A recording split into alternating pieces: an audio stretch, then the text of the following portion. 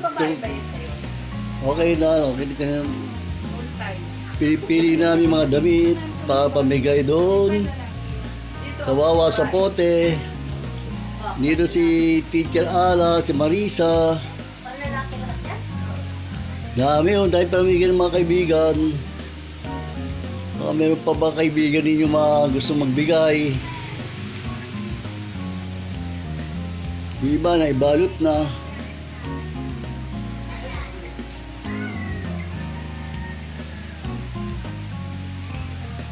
Wala pa sila yun. oh. Okay, dami oh. Ay mga damit.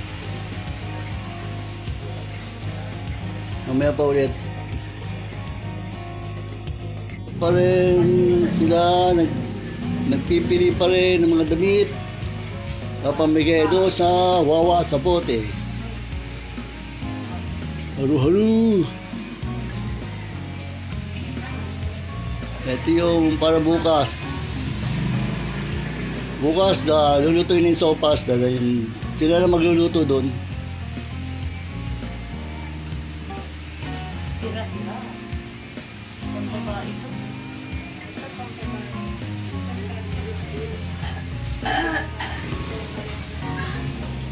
Maraming damit, bibigay mga kaibigan.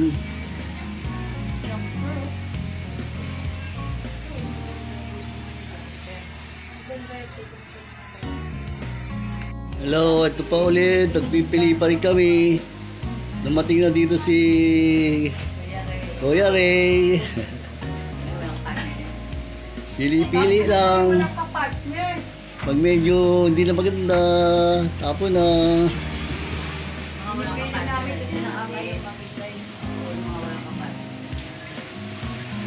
Okay na, di ba? Pang babae lang. Ito pang lalaki to. Oo, yan. Yung pamigay namin sa mga bata, sa kahit hindi bata, Ito mga short yan. kahit mga may edad na. Ano, ito pang babae yan. Hindi